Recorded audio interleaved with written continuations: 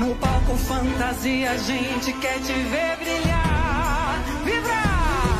Então vai, faz diferente, divida seu talento com a gente.